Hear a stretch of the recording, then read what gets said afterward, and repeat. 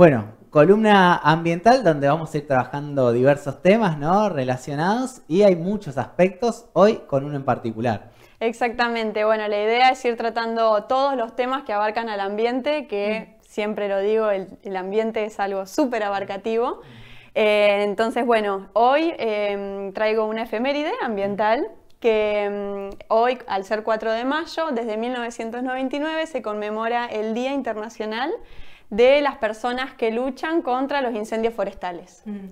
Entonces, bueno, esto me trae un poco a charlar un poco sobre los fuegos, ¿no? Em, existen como muchas ideas alrededor de los fuegos y bueno, una de las cosas que quería comentar es que eh, los fuegos se clasifican según su origen, ¿no? Eh, hay fuegos que son de origen antrópico, o sea que es el ser humano quien genera esos fuegos, y hay otros fuegos que son de origen natural.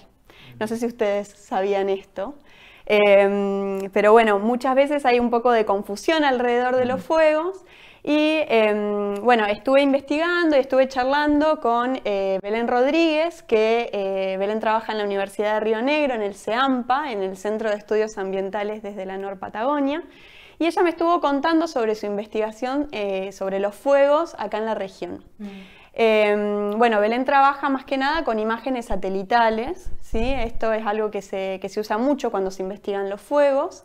Em, y bueno, eh, ella me comentó un poco las, principales conclusiones de su investigación, que son súper interesantes. Em, una de las primeras es que el fuego es un modelador del ecosistema. Entonces, de repente corremos un poco el eje del fuego eh, que conocemos, que ocurrió, por ejemplo, en la provincia de Buenos Aires, o los fuegos que ocurren en Corrientes, o los fuegos que ocurren, bueno, mucho también en nuestra provincia, más en el lado de la cordillera.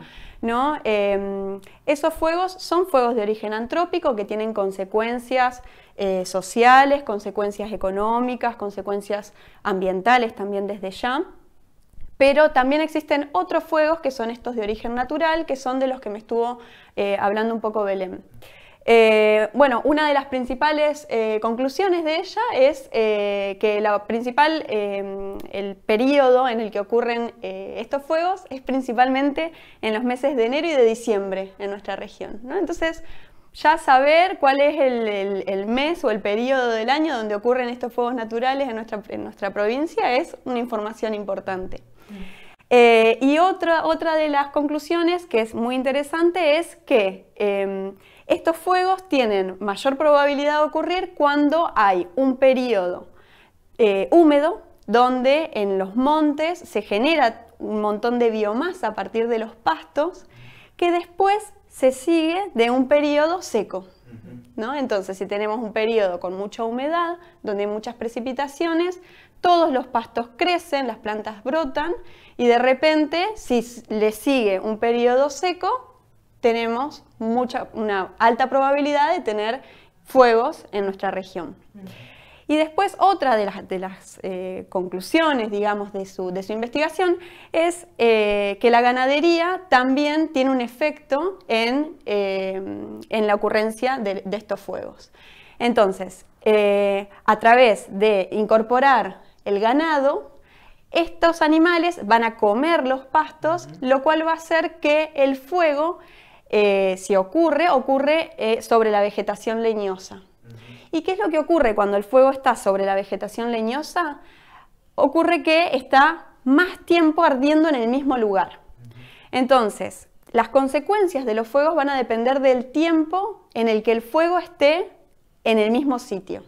Si el fuego está mucho tiempo en el mismo lugar, va a tener consecuencias muy graves a nivel ambiental porque, bueno, va, vamos a, estar eh, asociado a una pérdida de flora, de fauna, también se va a, quemar, digamos, la materia orgánica del suelo, ese suelo queda estéril, se pierden recursos genéticos de las semillas que están en los suelos, ¿no? Pero también puede llegar a ocurrir que el fuego pase rápido. Cuando el fuego pasa rápido, es ahí cuando estamos hablando de un fuego controlado que va a llevar a que se abra un poco el monte y es acá cuando el fuego tiene este, mm, este efecto de modelar el sistema para abrir un poco el monte, mejorar los recursos forrajeros para el ganado, ¿no? Incluso muchas veces si el fuego pasa rápido, activa algunas semillas de plantas nativas, ¿no? Entonces, el fuego es algo súper complejo que hay que saber interpretarlo, que hay que tener información para poder interpretarlo y que quería resaltar la importancia de que esta temática esté siendo investigada acá con investigadoras de acá, de nuestra universidad, y que también lo hagan a nivel local para nuestra región. Pensaba estas conclusiones que decías y esta información, que también obviamente es muy importante para poder generar estrategias, ¿no? Pensaba en esto, bueno, de, la época del año, eh, una de las cosas que se me viene a la cabeza es, por ejemplo, las picadas, ¿no? Que se arman para hacer los fuegos y los contrafuegos eh, eh, en esos momentos, ¿no? Cómo también poder dar herramientas a las personas para, bueno, si esto sucede, poder eh, aliviar, digamos, lo que es la carga de este fuego natural. Siempre hablando de, lo que son los fuegos naturales, ¿no? Exactamente, tal cual. toda esta información, toda esta investigación nos sirve para después adoptar distintas estrategias para que los efectos sean más bien positivos mm. y no tanto los negativos que lamentablemente ya conocemos tanto, ¿no? Todos los efectos negativos que puede llegar a tener un fuego que se pierde de control, que llega a, bueno, a las poblaciones, a los lugares. La verdad es que eh, los fuegos pueden tener consecuencias gravísimas, sociales y también, bueno, esto, económicas, ambientales, productivas. Em, pero si son manejados con información, si los conocemos, si los investigamos y si podemos adelantarnos a mm. todas estas situaciones, la verdad es que pueden ser una herramienta eh, muy importante para manejar los ecosistemas, sobre todo de nuestra región. Yo tengo una imagen que me quedó muy marcada de incendios en el Bolsón, que era del fuego como después de dejar de estar en la superficie, en muchos casos se sostenía en las raíces de árboles de muchos años, digamos, ¿no? Como ese calor que queda ahí y bueno, por lo que se dice, ese, ese tipo de fuegos vendría a ser de origen antrópico, digamos, ¿no? Porque no tendría ningún aspecto beneficioso. Exactamente, esos fuegos la verdad es que son tremendos porque permanecen mucho tiempo en el mismo lugar. Y una cosa que quería comentar también es que esto, cuando el fuego queda mucho tiempo en, el mismo, en, el mismo, en la misma superficie, eh, va a quemar la materia orgánica del suelo y el carbono del suelo. Ese carbono que estaba almacenado en los suelos después de un fuego va a estar en la atmósfera generando lo que conocemos el cambio climático.